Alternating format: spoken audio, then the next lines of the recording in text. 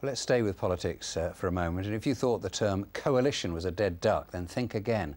Labour has just lost overall control of Stoke City Council to a newly formed coalition of Conservatives, UKIP and independent councillors who have a majority of just one. Our Staffordshire reporter Liz Copper has been getting reaction to the changing political landscape in the city. For so long, the streets of Stoke-on-Trent have been seen as a Labour stronghold. But now the party's lost control of the council here and a coalition is about to take charge. Of course we'll have our critics, of course we will.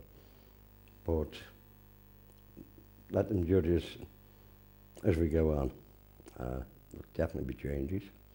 And uh, let's hope the people of this city give us a thumbs up. In the town centre of Tunstall, voters are proud of the city's heritage. But there's also a sense they think it's time for change something different. You never know, things might be better. Because they can't get any worse, really, can they? It needs such a big change. A big change. Whether it needs new blood, I don't know. But they've got to have new ideas from somewhere. How it was run before, to me personally, I think it was they were wasting the money more. When in power, Labour approved multi-million pound plans to build these new offices in the city centre. It was a controversial move.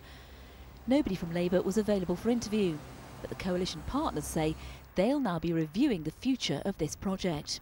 I think we'll be looking for a way to um, best reclaim perhaps the cost that's gone into those buildings um, and put it back into value for money services for residents really. This is a coalition drawn from across the political spectrum but all parties agree the city needs stability. The majority this coalition has couldn't be slimmer, so votes on key policies will be close. They'll also be closely watched. This is a new era in politics in this city and it promises to be eventful. Liz Copper, BBC Midlands Today, Stoke-on-Trent. It's 16 minutes to 7. This is our top story tonight.